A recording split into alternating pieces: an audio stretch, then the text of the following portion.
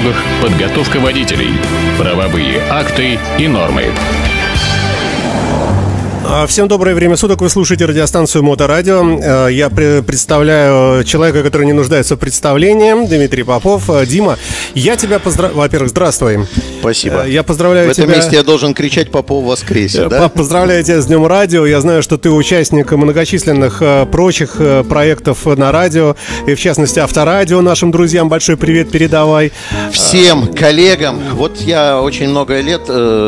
Чуть-чуть сюда Нормально добавь, меня, меня добавь. Всем коллегам коллегам, э, всем, вот поменьше, а то заглохнем, да? Значит, э, я много-много лет, я первый раз показался на радио в 2000 аж, ой, шестом году. Конечно, мне до вас, мастодонтов, еще пахать и пахать, я постараюсь дожить до такого стажа работы в радиоэфире. Но э, я очень долгие и многие годы, я всех поздравлял, таких как ты, которые делают радио, журналистов, корреспондентов, все время радовался за их успехи, хорошие, все желают хорошего инфоповода, все прекрасно понимают, что ин, инфоповод делает эфир, потому что если тема интересная, то радио слушается. Если тема притянута за уши или оплачена сверху, то тогда это радио работает впустую, молоть портит воздух. Вот. И я всегда говорил, что я к этому рад, что я к этому немножко причастен. Чуть-чуть по фамилии, чуть-чуть, э, значит, по э, тому, что я все время в каких-то радиоэфирах принимаю участие. Но вот я дожил, наконец, до того состояния, когда я, Саш, говорю, я нас с тобой и всех наших коллег на всех радиостанциях страны поздравляю с Днем радио. Потому что если бы Александр Степанович... Э, не помню фамилию Попов. Э, Черномордин. Да. И э, э, Маркони, я не хочу устраивать в эфире соревнования, кто был первый. Если бы они не провели эту замечательную радиопередачу при помощи металлического порошка Кагерера, да, который, так сказать, под воздействием электромагнитной волны он встряхивался и изменял пропускную способность. Это было такое, телеграфное еще. То мы бы сейчас не разговаривали бы с нами и с вами и не передавали бы никаких замечательных новостей, не рассказывали бы замечательную кучу интересного, которую нам в течение недели подбрасывают, понимаешь?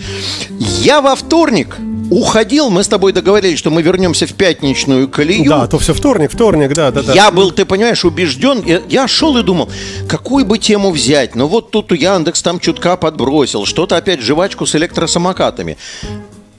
Значит, никогда в этой стране вечно зеленых помидоров не будет у нас безработицы. У нас появляются, значит, э, тематоры, которые подбрасывают такие темы, что нет слов. Конечно, мы про Яндекс Каршеринг попозже поговорим, потому что это интересная история социальная Но тем более она заявлена у нас в анонсе. А, да. Она заявлена в анонсе, мы попозже скажем. Но, друзья мои, темы опережают одна другую. И мне, я хотел снимать видео, как я обычно это делаю, про кайкакеров, про всякое разное. Но самый хороший формат трансляция моторадио, и она, в общем, будет и видео, и фото, телерадио. А, ты просил ссылку, ссылка, ссылка у уже есть? у меня идет, у меня на в соцстранице идет уже трансляция на стене, да, потом потому что много желающих послушать будет в Ютубе, да, да, да, да. Во-первых, во-первых, э, помнишь ли ты, что 10 дней, там, 2, 2 недели тому назад я был в славном городе Москве? Да. Я там снял совсем коротенькое видео про московские кои-каки, стоял на фоне диагонального пешеходного перехода, снимал за спиной, и это тонны термопластика, положенные вдоль и поперек перекрестка, и рассказывал о том, что, ребята, вот он, всемосковский ляп, когда диагональный пешеходный переход организован э, в соответствии с тем, как написано в правилах, но абсолютно не соответствует требованиям ГОСТа. Я говорил про то, что ГОСТ с правилами разбегаются.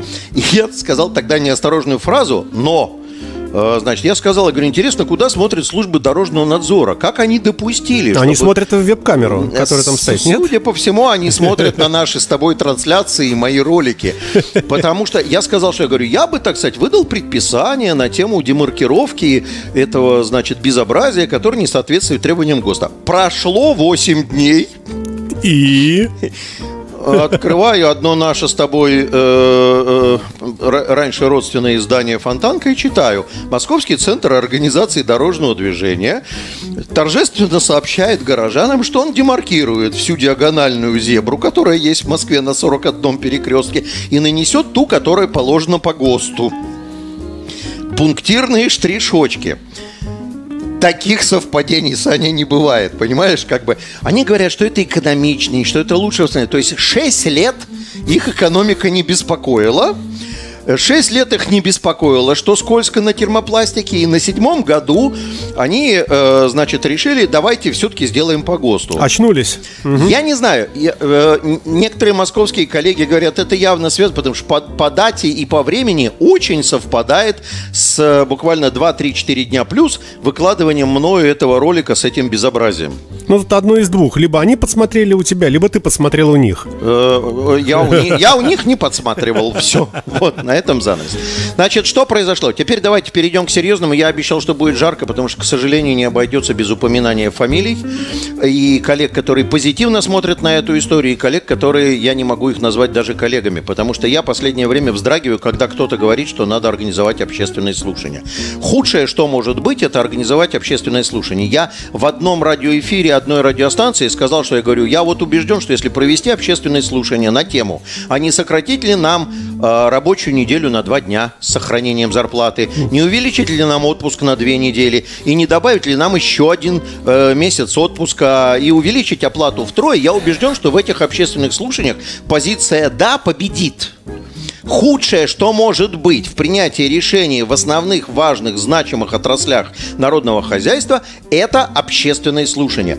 Я понимаю, что меня сейчас готовы закидать камнями, но общество состоит из дилетантов. Мы нажрались этого дилетантизма в дорожном движении. Смотрите мои ролики про кайкакеров. Мы это хлебаем через край. Это вот настолько уже начинает задалбывать. Значит, что произошло?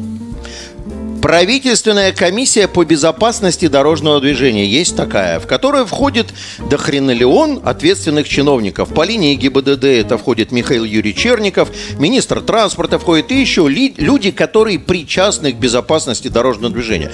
Это та самая комиссия, которая формирует решения, которые направлены на повышение безопасности дорожного движения. Напомню, друзья мои, что задача-то стоит к 24-му, а он вот здесь вот не за горами через три года, к 24-му году году 4 на 100 тысяч, а к 30-му 0.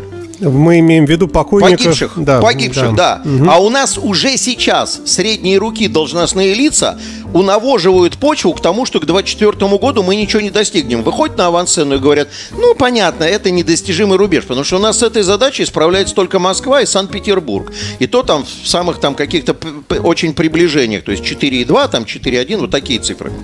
Вот. А есть города, напомню, говорил я, и 8, и 10, и 12, которым до 4 на 100 тысяч, как до Луны ползком. Конечно, там имеют значение деньги, конечно, там вливание денег. Но давайте мы с вами посмотрим. Значит, что потребовала правительственная комиссия? Внимание! Правительственная комиссия потребовала от Министерства транспорта и от МВД э, в лице Главного управления э, по обеспечению безопасности дорожного движения подготовить согласованную позицию по снижению нештрафуемого скоростного порога того самого нештрафуемого гандикапа, ну, вот гандикапа 20 да, да, да. километров в час по его сокращению 10 или какую-то другую. При этом э, правительственная комиссия сделала акцент на том, чтобы э, значит э, эта позиция была согласована. Ну, это э, тоже кусочек цирка с конями, потому что Минтранс достаточно четко стоит на этой позиции. С него будут, вообще говоря, спрашивать больше всего. Э, Минтранс стоит на позиции о том, что гандикап надо сокращать достаточно жестко. А ГИБДД, у ГИБДД там наблюдались метания за прошедшие там полтора-два года, когда это всплывала история. Значит, отменить или не отменить, то они говорят, что мы за то, чтобы... Э, не сокращать, чтобы было 20 нештрафуемый порог, что очень позорно для ГИБДД, потому что я сейчас расскажу предысторию этого безобразия, которое творится. Почему? Вообще, честно говоря, это все звучит дико, потому что есть правило 60 километров в час. Да. Потом мы... Но мы тебе говорим, но ехать можешь 80. Да, да. Ну, ну, ну, в принципе... Это идиотизм. Со стороны понимаешь? послушать, это нонсенс какой-то. Это, да. это идиотизм. Э, я, э, понимаешь? И мы очень любим, вот мы такие все молодцы, мы очень любим транслировать, значит, западный опыт. Да не вопрос. Швейцария 3 километра в час. Эстония 0 километров в час нештрафуемый порог. Ну, давайте будем ориентироваться. Давайте мы будем как таможенный союз. Хрен с ним. Мы же технический регламент таможенного союза подписали. У нас автомобили по тормозам приблизительно равные по качеству. Белоруссия 10 и Казахстан тоже то ли 10, то ли 5. В большинстве стран Европы 5. Есть страны, где нет гандикапа. Но не 20 не на 30% от номинала. Ну как это что? А, э, Теперь, значит, что происходит в медийном пространстве сейчас? Сначала предыстория. Откуда возник этот э, гандикап? Разговор сам. Нет, Нет подожди. Откуда Сначала возник ганди- гандикап? Да. Да, потому Ну, что... от неточности приборов. Нифига подобного, докладываю тебе. Нифига подобного. Потому что комплекс, э, господи, как он, искра, э, этот самый, с руки, и, э, э, Я тоже забыл. Ну да, он как-то называется, да. Господи, ну, искра, да, руч- ручные, не дикие радары, мы уже забыли. Искра, у него погрешность, там, э, господи, фи- фирму забыл, как называется, которая производит его, Семикон, по-моему. А, значит, э, у него, правда, в нарушении всех технических отношений с погрешностями заявлено на 1 километр в час. 1 километр Плюс-минус, да? Плюс-минус 1 километр в час. И там погрешности приблизительно такие, там полпроцентовые погрешности, то есть, ну, где-то в диапазоне 1 километр в час. Поэтому Скорости, от- скорости, да. Да, да, да. Погрешный э, отсыл к тому, что гандикап был введен из-за погрешности, является ахинеей. Тот, кто говорит, что мы ввели его из-за погрешности, он брехло. Нет, ну из-за погрешности есть еще погрешность самого автомобиля. Человек может... У автомобиля нет погрешности, Саша. Ну как нет, разные колеса. Я тебе поясню. разные- Нет, ты сейчас, ты не знаешь конструкцию автомобиля. Двойка тебе по материальной части. Хорошо. Дело в том, что спидометр, который стоит в автомобиле, не является средством измерения вообще. Ну, Он не поверяется. это он, ты он про инди- термины. Пода- Нет, я А не я про, про те- жизнь. Подожди, а про жизнь я тебе расскажу. Заводы-изготовители во избежание административных претензий к ним со стороны пользователя закладывают на спидометр и другие измерители скорости в автомобиле систематическую плюсовую ошибку. То есть, когда ты едешь под литейным мостом, у тебя на стрелке стоит на 60, то э, автоматический радар, который нас пугает, что вы превышаете, показывает 54. Потому что на самом деле ты едешь медленнее. А заводы специально плюсом добавили, чтобы диаметр колеса не, не э, зава- завалил тебя в превышение. И там это все, мы же на западных автомобилях ну так ездим, это же и есть погрешность. Ну, это, чего- это чего не, ты нет, это, это не погрешность, это заложенная ошибка, это другая история, это не в измерении заложено. Но история-то не в этом, не из-за погрешности дело-то. А, если бы была погрешность виновата, то, пардоньте, расскажите мне, господа хорошие, те самые придурки, которые топят за эти 20 километров в час, как же мы жили-то? Ну вот так Вот жили. с 66 года у нас э, средства измерения скорости, по-моему, в 66 году появились. Вот с 66 года до 2013 мы как жили-то? У нас было 10 Но жили километров с погрешностью. 10 километров в час было, но не 20. А теперь внимание. Откуда эта история началась? Из-за кольцевой автодороги. Нет, хуже, хуже. Хуже. Значит, эта история рождена в недрах самой ГИБДД.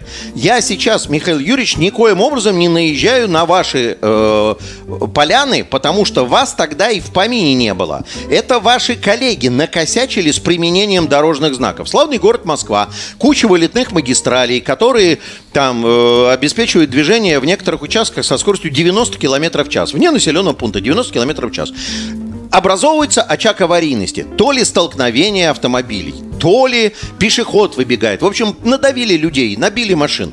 Значит, что делает ГИБДД Москвы и Подмосковья? ГИБДД, вот это, то самое, которое сидит в центре Москвы. Значит, они берут и фигачивают знак 40 километров в час. Было 90, стало 40. И для того, чтобы тебе не повадно было, а денежков-то у нас в Москве до хренелион, мы тут же здесь вешаем камеру фото-видеофиксации. И все водители хором, внимание, едут, видят, ну, едут со скоростью 90, видят 40, невозможно на 50 километров в час сбросить скорость за 100-150 метров пути.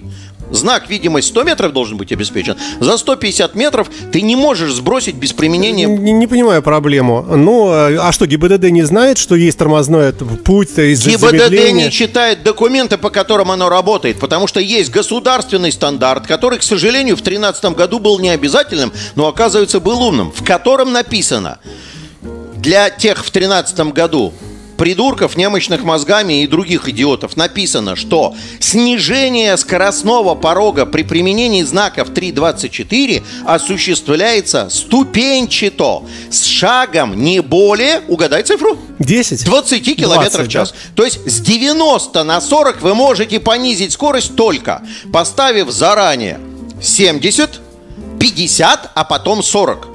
Между этими знаками по вашему ГОСТу, по вашему ГОСТу, который в 2013 году, я не нынешних гаишников пинаю, но собрали бы вы голову в кучу, должно быть через 150 метров. И тут у нас нарисовывается порядка 400-450 метров для того, чтобы осуществить плановое снижение скорости без экстренных торможений. Все хорошо.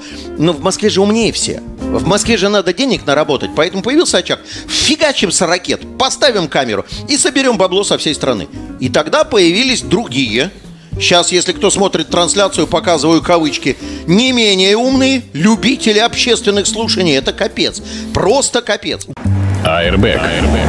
А, Итак, э, Я, мы- я бы говорил, злой рок наследия. давай, что у нас Значит, там, да? значит э, мы же в Москве находимся. Нет, мы в Петербурге. Нет, я имею в виду, вот, господа гаишники московские, нам пофигу ГОСТы и государственные стандарты. Мы фигачим знак 40, ставим камеру, и народ, значит, попадает на эти огромные штрафы. Появляются умельцы, это так, за такт предыдущего кусочка. Появляются умельцы, озабоченные общественными случаями- слушаниями, называется это команда депутаты. Так. А у них, ты понимаешь, так сказать, это история э, ра- работа депутата, она э, как вот в электоральном периоде это как беременность, понимаешь, так сказать, выносит, не выносит, то ему бананов хочется, то железных опилок, вот, и подай все что угодно, он будет делать все, чтобы за него проголосовали. Раз вот эта история. Собирает деньги, Нахрена нам профессионалы? Зачем нам нужны настоящие эксперты? Я не про себя говорю, а про людей с серьезным транспортным образованием профессоров или людей, которые знают законы. На кой нам нужны юристы? Ну, надо было пойти изучить ГОСТ, понять, почему такая байда получается, посоветоваться с транспортниками, прийти в ГИБДД Москвы и сказать, парни, вы что делаете, подонки? Ставьте знаки как положено. Соберите голову в кучу и ставьте знаки как положено. Но ты же депутат, ё-моё. Как только кто-то где-то обоса... накосячил, значит, у тебя появляется возможность словить на этом дешевого хайпа. Взяли и проголосовали за поправку в Кодекс об административном правонарушении, приостановили часть первую статьи 12.9. Ту самую, которую с 10 до 20. Ту самую, которая с 10 до 20 километров в час. Теперь, значит, если в городе у нас ограничение 60 километров, 79 едешь никому не должен. Ну, появляются умные дяди в погонах, другие всякие квазипрофессионалы, которые говорят, это все равно нарушение. Это все равно нарушение. Вам должно быть стыдно. И там порядка, э, значит, 50 миллионов водителей стыдливо фигачат 79 километров в час в городе и 109, 109 за городом. Вот, вот, так, вот это предыстория, ты понимаешь, откуда родился этот гандикап. Теперь давай посмотрим немножко на статистику. В соцсетях, и в Фейсбуке, и в ВК, и в других всяких мои коллеги умные, и э, Валдин, и Липаткин, даже Михаил Блинкин включился в этот процесс, приводят статистические данные, корреляция между скоростью и аварийностью скоростью и аварийностью. Другие отсылают к другим всяким, э, значит, э, странам, опыту других стран. Значит, давай с тобой посмотрим. Страна с не самым, мягко говоря, хорошим состоянием уличной дорожной сети, а, с весьма себе высоким уровнем смертности на 100 тысяч на дорогах, с одними из самых маленьких штрафов, если не сказать самыми маленькими штрафами, имеет самый высокий, внимание, папам, самый высокий в мире, в мире нештрафуемый скоростной порог. Ну, круто же, ну где-то же мы все-таки должны быть. Конечно, мы пя- Зато, говорит, мы делаем ракеты и перекрыли Енисей. И, кстати, в, в части балета мы впереди планеты всей. Теперь еще и в части, значит, безумия на дорогах. Значит, это вот так вот. Теперь смотри, э, значит, что пострадало из-за введения этого гандикапа. Потому что депутат – существо безобидное, безумное, но безобидное, понимаешь, как бы. Он что-то проголосовал, ему продлилось. Ну, водители подумали, фига себе, раньше с меня здесь брали 500 рублей, а теперь я еду, никому не должен. Люся, ты смотри, как хорошо. Люся, ты смотри, как здорово, мы теперь никому не должны. И пойду-ка я проголосую за этого депутата. Э, как здорово, что он здесь есть. А о том, что там безопасность, еще что-то, это никого не волнует. А теперь рассказываю.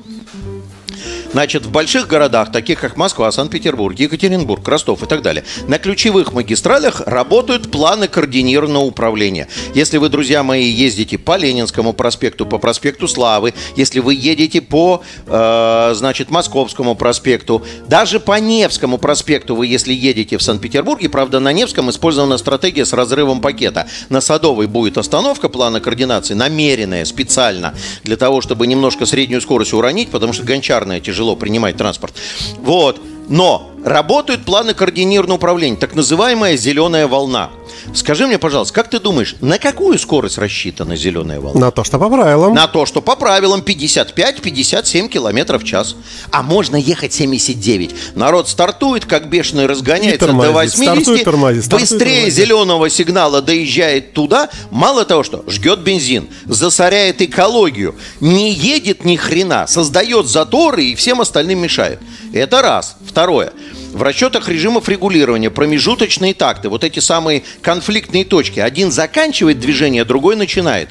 А скорости входа в дугу поворота и в скорости стартовой и разгонной скорости и э, э, рассчитаны через превращение до номинала, до 60 км в час. Или от номинала, от 60 км в час. Последний проезжает на 60 км в час. Понимаешь? В прямом ходе. А он едет не 60, он едет 80, и того, которого мы при этой длительности промтакта, при расчете по ОДМу 218 рассчитали, что они не встретятся на перекрестке, новый начало движения в поворот, а он его догоняет. А он его догоняет. Он должен был бы его не догнать, а он его догоняет. Россия вперед. Щедрая душа. Да. Щедрая на всю катушку душа. Это легкие штрихи к тому, над чем все это не подумали, да? Значит, э, ну, уже как бы ленивый. не- Все говорят о том, что, ребята, завязывайте страдать фигней, давайте убирать гандикап. А, правительство, ну, дальше, дальше цирк с конями. Вот сейчас, сейчас, сейчас, а, значит, главная история. Значит, ну, правительственная комиссия поручила и поручила, да, как бы э, там и хорошо. Э, И они ушли обдумывать, собирать мнения и так далее. Я надеюсь, что вы мое мнение послушаете, честно, потому что если э, сейчас не остановить эту вакханалию дурдома, то у нас дальше так и будет. У нас дилетанты уже задолбали править в нашей профессиональной отрасли. Я надеюсь, что коллеги и Блинкин, и Валдин, и Липаткин, и Слава Данилов, и Холодов, и Сажин, и там все поддержат, потому что дилетантизм в этой э, отрасли уже начинает зашкаливать. Вот так вот Шумского одного хватает через край, честно. С маленькими знаками, непонятными нормативными актами. А, значит, появляется на горизонте этого диспута, появляется партия «Единая Россия». Ну, все, можно быть спокойным, да, теперь. Да, теперь сейчас, сейчас все, сейчас все будет решено как надо и так далее. На эту тему, кстати, написал еще один наш коллега в Фейсбуке, написал э, э, Сереж Давыдов. Если он слушает, то я его приветствую. Я не всегда согласен с его высказываниями, но в целом человек привык вдумчиво подходить к вопросам. Он этот пост, кстати, назвал очень символично. Вовсе не, ни к какому депутату не адресуя, просто назвал «Лысаковщина». Вот. Не знаю, наверное, имел в виду лысых э, и так далее. Значит, э, появляется Турчак, Андрей Турчак, председатель политсовета партии «Единая Россия». И говорит о том, что «Единая Россия» выступает против отмены нештрафуемого порога и его снижения до 10 километров в час. Потому что такие важные решения, говорит Турчак, нужно принимать через общественные слушания. Вот здесь я как раз и говорю, давайте мы обсудим с вами, не надо ли нам удлинить отпуск на две недели с сохранением заработной платы и декретный сделать два года и как бы ну что там еще я не знаю рабочий день на два часа сократить с сохранением заработной платы люди не С хотите увеличением. с увеличением заработной... Хорошая версия, Саша. Хорошая, да. С увеличением заработной платы. Давайте общественность соберем, послушаем. Мы же почему-то... Это, эта история мне очень напомнила в одной моей прошлой автошколе ситуацию, когда главный бухгалтер говорит, ну что там работать инструктором? Это фигня как бы. Каждый может работать инструктором, это зависит от того, э, хочет ученик научиться или нет. От него зависит. Что там работать преподавателем по теории? Что там, готовиться, знать, это все не надо. Вышел, почитал книжку и разошлись. Все отлично. Вот здесь ровно такая же история. Давайте соберем общественность, которая будет обсуждать, не надо ли повысить всей стране зарплату. Надо или не надо? Но. Ну, все скажут, сла- Слава, Слава Данилов организовал у себя в сообществе СПБ автоопрос. 89% водителей проголосовали оставить нештрафуемый порог 20 км в час.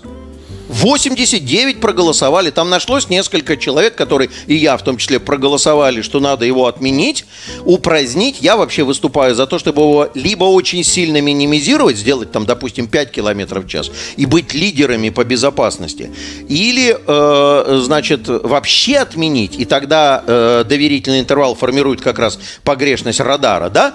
Э, ну, как- как-то так вот. Ну, их там совсем мало. Их там совсем мало. Один товарищ высказал интересную мысль, он- я с ней солидарен, сейчас чуть позже скажу. Но вот это заявление Единой России, во-первых, явно указывает на то, что дальше можно не обсуждать. Ну, то есть ответ понятен, да. У нас, ну как, ты что, против Единой России? Как ты можешь? Вот, вот я, например, у меня есть транспортное образование. Как я со своими транспортными знаниями могу быть против Единой России? Ну, я, вот я когда это прочитал, когда Турчак это заявил, я это прочитал, я вспомнил старинную свою армейскую шутку. Если кто не помнит, я 21 год молотил на Ниве Министерства обороны, и когда я еще был курсантом в Советском Союзе, то у нас было принято стебаться над ситуацией в стране. Мы, занимаясь занятиями по строевой подготовке, когда можно было, читали хором речевку. Прошла зима, настало лето, спасибо партии за это. Частушка старая такая, да. Да, была, да, ну, Единая Россия сюда очень подстает прямо это самое. Как можно, понимаешь? Э, Спасибо Михаилу Блинкину, очень уважаемому инженеру, который, э, транспортному инженеру, профессору, который э, э, тоже я не всегда э, с ним согласен, потому что он все-таки мыслит как градостроитель-транспортник, а я больше стараюсь заходов юридического свойства делать на ту или иную тему. Но Он привел, значит, э, в качестве примера общественных слушаний по вопросу отменять или не отменять, э, значит, гандикап, э, высказывание какого-то своего друга, там фамилия Аненков, я не, не знаю этого человека, но он сказал, говорит, общественные слушания по вопросу отмены скоростного гандикапа сродни устройству общественных слушаний на предмет э, это, первого или второго закона Ньютона. Здесь нам так и пишут в чате тоже, что вот, да, э, так конкретно даже. Э, Ой, много написали, да. Нужны широкие общественные обсуждения второго закона Ньютона. Да, да, да, да, Э, да. вот да, это да, вот да, всё, тут Ну, много. Нужны широкие обсуждения общественные второго закона Ньютона. Надо или не надо? Ребята, мне тоже нравится ездить быстро. Вот вас не смущает? Вот я сейчас сижу в студии Моторадио. Я человек, который недавно за рулем. Сейчас у меня появилась хорошая идиома э, по поводу моего водительского стажа. Знаешь, как это самое? Э, э, я знакомлюсь с женщинами, многие из которых родились после того, как я уже научился управлять автомобилем. Потому что у меня стаж 36 лет. Я 36 лет за рулем. И я очень люблю быстро ездить, и многие знают, и я сегодня вот, э, так сказать, там продемонстрировал, что я могу ездить в разном стиле, и, э, и э, оперативное сопровождение, когда один другого прикрывает, подставляется. Я могу ехать комфортно, классически, в стилистике Яндекс Комфорт, да, или в стилистике Яндекс Вип, без резких торможений, ускорений, такая эстонская манера езды. Могу гнать так, такие шашки делать, мама не горюй, как бы все это, все это возможно и способно. Вас не смущает, что водитель с таким вот огромным стажем, который иногда платит, сейчас камеры, стрелки стали по городу много где появляться, ст- стрелка У, по-моему, значит, платит, ну, определенное количество штрафов, вас должно заволновать, что я выступаю за серьезное сокращение скоростного гандикапа или даже за его отмену. Или сокращение, или отмену, потому что иначе мы с вами выглядим как стадо баранов. Вот мы все время говорим о том, что у нас свой путь, но нужно мозги в кучу собрать и понять, что э, мы ежегодно, Российская Федерация, друзья мои, ежегодно теряет на до- раз в год теряет на дорогах страны количество населения. Внимание, знаешь сколько? Много, к сожалению. Я тебе да. скажу, столько же, сколько мы потеряли, в дв- д- точнее, в два раза больше ежегодно мы теряем, чем мы потеряли за 10 лет войны в Афганистане. Мы в войне в Афганистане потеряли около 13 тысяч человек, а сейчас у нас тут 20, 22, 26, то есть мы вдвое больше, но это за год. Это за год, то есть за 10 лет мы теряем население Новгорода. Мы за 10 лет у нас Новгород, мы убиваем. И это не немощные старухи, которым три дня осталось, а это подростки, которые еще вырастут и могут стать Эйнштейнами. Это зрелые мужики, которые там э, могут в армии послужить, могут на заводе, могут себя как-то проявить. Это там женщины детородного возраста, которые... Поэтому вот эта история, она сильно демографическая. В этих условиях, в этих условиях, популистская позиция партии «Единая Россия», я по-другому не могу сказать, популистская позиция. Ты в этом месте можешь говорить, позиция моторадио не, не совпадает э, с позицией нашего эксперта. Вот. Популистская позиция «Единой России» ну, мне кажется, ориентирована сурово против демографической политики государства. Потому что ученые все говорят, ребята, отмена или сокращение приведет к сокращению числа ДТП с пострадавшими, сокращению числа погибших. Единая Россия говорит, ничего, нормально еще, у нас много. Мамки рожают. АРБ. Безопасность на дорогах, подготовка водителей, правовые акты и нормы. А, Дмитрий Попов в эфирной студии э, изобличил Единую Россию. Продолжаем. Ну да, продолжаем. Как говорил мой друг Карлсон, сбрасывая куклу с подоконника, продолжаем разговор. Да. В этих условиях попытка всячески препятствовать сокращению скоростного гандикапа выглядит как действие, идущее в разрез с государственной демографической политикой. Потому что учеными, наукой доказано, что сокращение гандикапа значит, э, а, необходимо, потому что этот нештрафуемый порог, он, кстати, приводит ситуацию, гарантир... вот при наезде на пешехода гарантированная смерть, понимаешь? Гарантированная смерть. Вот. Но что мешает? Вот теперь сейчас перейдем к сложностям, потому что у нас же, так сказать, э, страна отозвалась в 2013 году, когда ввели нештрафуемый порог 20 км в час, страна ГИБДД всея Руси на местах в регионах отозвалась. Легко отозвалась. Легко, непринужденно, красиво отозвалась. Знаешь как? А Вся страна заставлена. Мы знаем с тобой, что я проехал Московскую, Новгородскую, Тверскую, э, что там еще, Воронежскую, Липецкую, Тульскую, Ростовскую, Краснодарский край, Крым. Э, слушай, куда-то я еще заезжал. Нижегородская, Псковская и так далее. Вся страна отозвалась на введение гандикапа в 20 километров в час очень простенько вся страна заставлена знаками 40 и 70.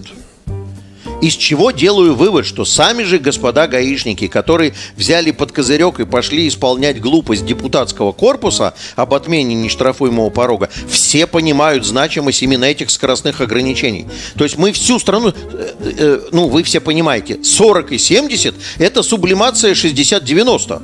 Ну да. То есть теперь вы можете ехать не больше 60. Раз у вас есть гандикап в 20 км в час, значит 40. Если вы дорога вне населенного пункта 90, значит 70. Доехал, вот я прошлую неделю ездил в Великий Новгород. Доехал до Новгорода по М10. Специально поехал посмотреть, что со скоростью на трассе. Что со скоростью на трассе? Во всех населенных пунктах стоят знаки либо зона ограничения скорости 40, либо стоят знаки от перекрестка до перекрестка 40, 40, 40, 40, 40. Причем Яндекс уже э, так себе хорошо, так нормально предупреждает голосом, говорит, впереди камера на 40.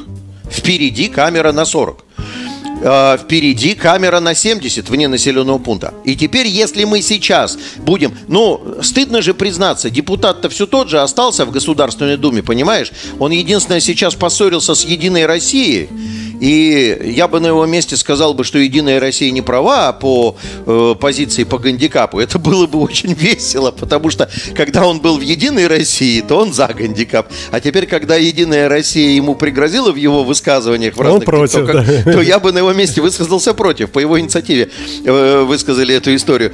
Вот. Но, э, значит, ситуа- ситуация получилась какая?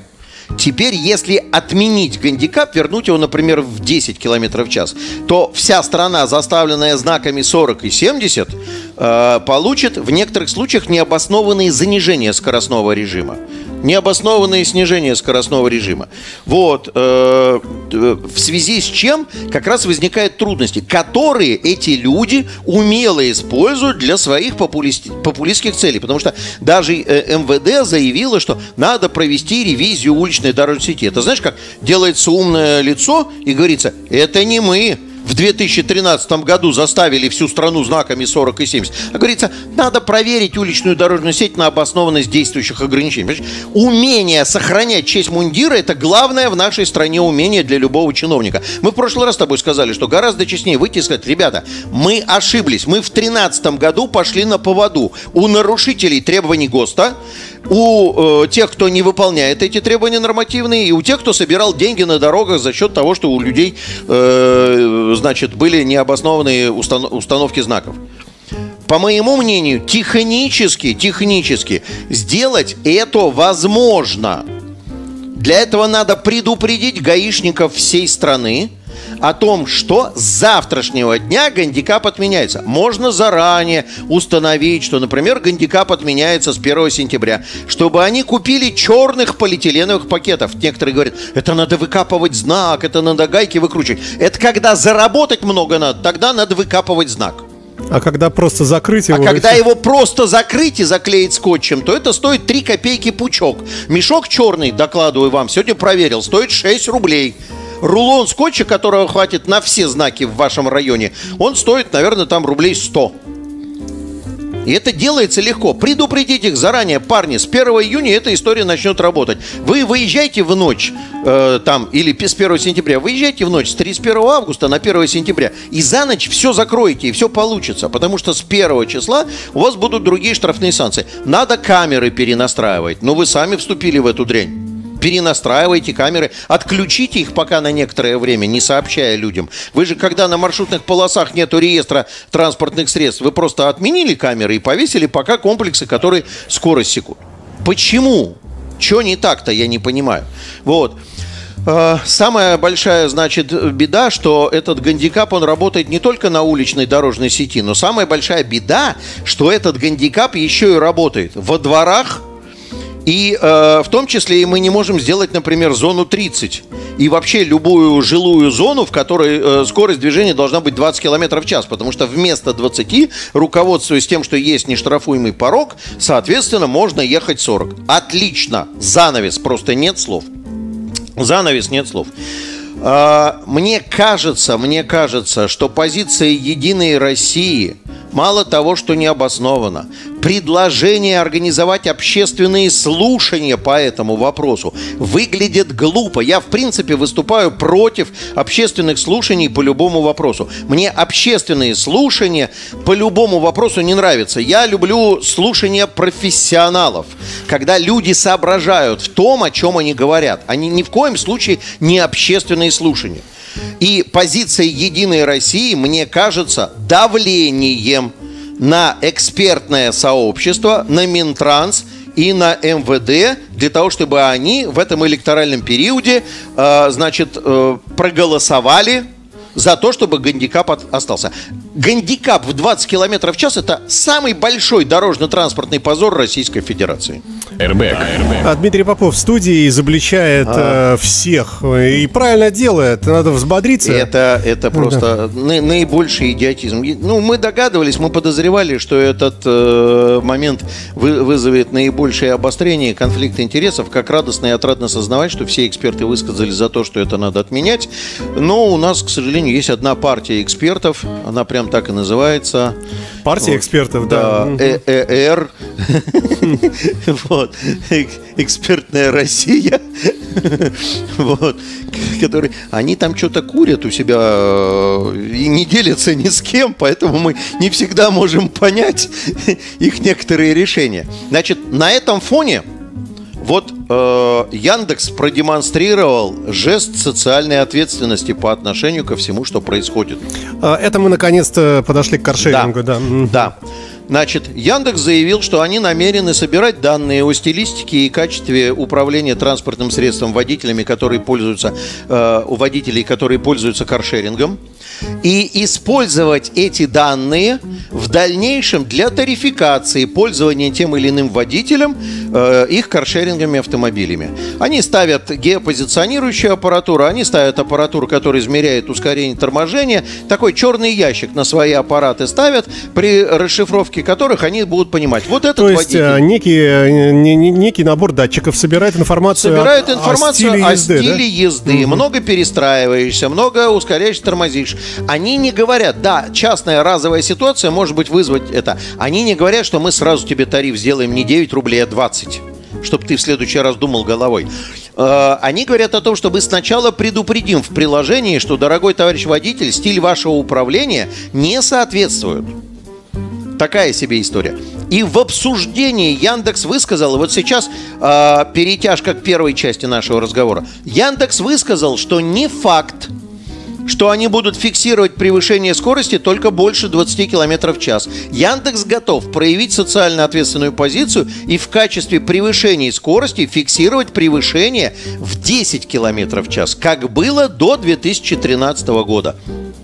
И в этой связи как бы появляется, значит, осознание то, что Яндекс понимает, какой гандикап может быть и какого не может быть, а партия экспертов не понимает, какой гандикап может быть. Х- хороший, хороший слоган партии экспертов. Хорошее название для рок-альбома. Яндекс понимает гандикап. Да, да, да, Даже, да, даже да, да, припев, да. припев Да. такой хороший. Но называть партию, которая выступает со своим мнением, оно сразу становится доминирующим на рынке других мнений, оно не содержит мысли и высказывания ученых, оно просто... Я помню, я сейчас тебе расскажу, слушай, я был в законодательном собрании Санкт-Петербурга, и один депутат, один депутат, мой бывший сослуживец, в колуарах, значит, Мариинского дворца, мне такую мысль сказал, что я чуть не рухнул там на пол. Он мне сказал, говорит, я считаю, что ограничение скорости вообще надо отменить.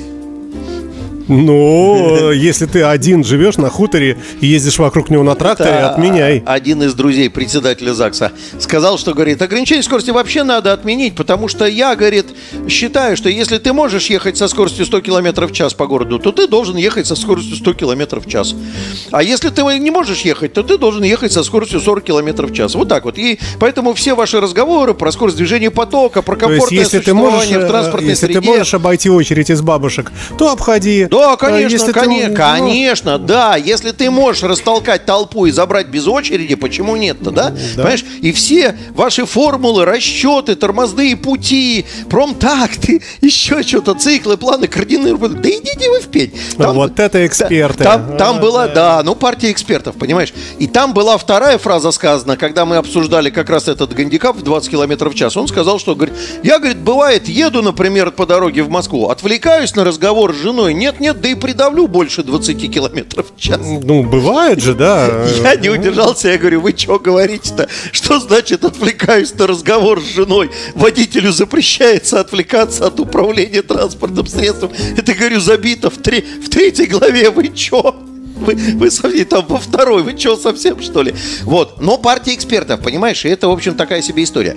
Что касается Яндекса, мне кажется, что если эта работа Яндекса будет успешной, то э, те, кто прорабатывают и разрабатывают законы о каршеринге, должны будут включить в закон о каршеринге в качестве условия предоставления краткосрочной аренды тарификацию с учетом э, пред- архи- архи- истории управления каршеринговым автомобилем в предыдущем периоде.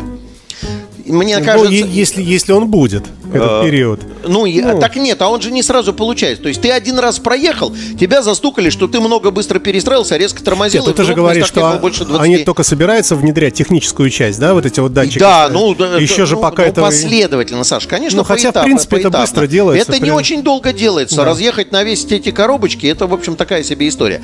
И в этом смысле я бы навязал эту стратегию всем каршерингам. Теперь внимание, внимание.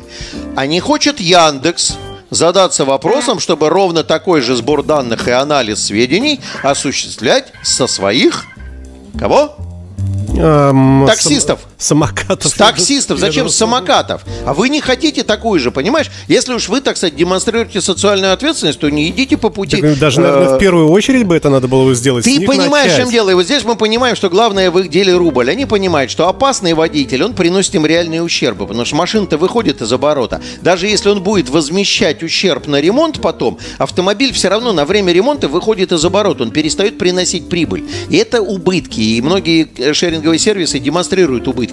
И тут у них личная, знаешь, такая, такую личную неприязнь испытывают, такую личную заинтересованность испытывают, что они, э, значит, э, просто вынуждены эту меру ввести. Потому что она будет по отношению к другим мобилям э, разным там, э, будет не очень популярной. Потому что человек скажет, ну зачем, у меня на Яндексе 20, а у их соседей у меня там по-прежнему 9 рублей. Он будет искать другого такого. Поэтому в этом смысле, но Яндекс демонстрирует, что нам важно сохранить автомобиль, и мы относимся вроде как социально ответственно по отношению к Ну, обществу. м- можно было бы, кстати, Яндексу пролоббировать себя любимых как приоритетный сервис в этом смысле, именно с учетом того, что они социалку такую... Да, да, да, но это очень маркетинговые э, профиты тащат за собой, очень серьезные. И когда они показывают рекламу на тему о том, что вот у нас там вот каждый таксист проходит э, проверку, там еще что-то такое, там э, средний балл 4,8, так и хочется написать, мы им сами баллы ставим, когда кто не ставит. Вот, Э, они не хотят дописать, что мы снимаем с линии таксистов, то есть перестаем набрасывать заказы, если таксист едет с нарушениями правил дорожного движения.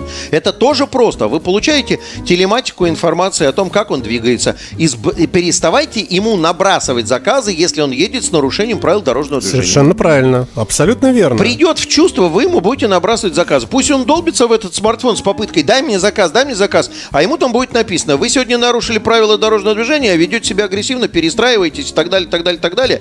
И поэтому мы вам сегодня шиша вместо заказов. Ну, я бы в этом смысле вообще на весь частный транспорт э, это дело установил. бы. Это ты знаешь, я тебе хочу сказать. Это очень э, быстро мы- приведет, Мы э, про это с тобой говорили на одном из наших прошлых радио лет 10 тому Да, назад. да, да. Почему нельзя по геопозиции, э, значит, регламентировать скорость, с которой можно двигаться? Есть там усложнения, касающиеся того, что иногда необходимо превышение скорости для того, чтобы избежать э, столкновения. То есть, например, Но на это всё равно скорее исключение превышение. из нормы. Э, Норма-то э, должна да, быть. да, да, да, да. Но это очень частный случай. Но можно было бы регламентировать э, скорость геопозиционирующими различного рода устройствами. И это, кстати, несложная история. Почему это не сделать, не могу понять.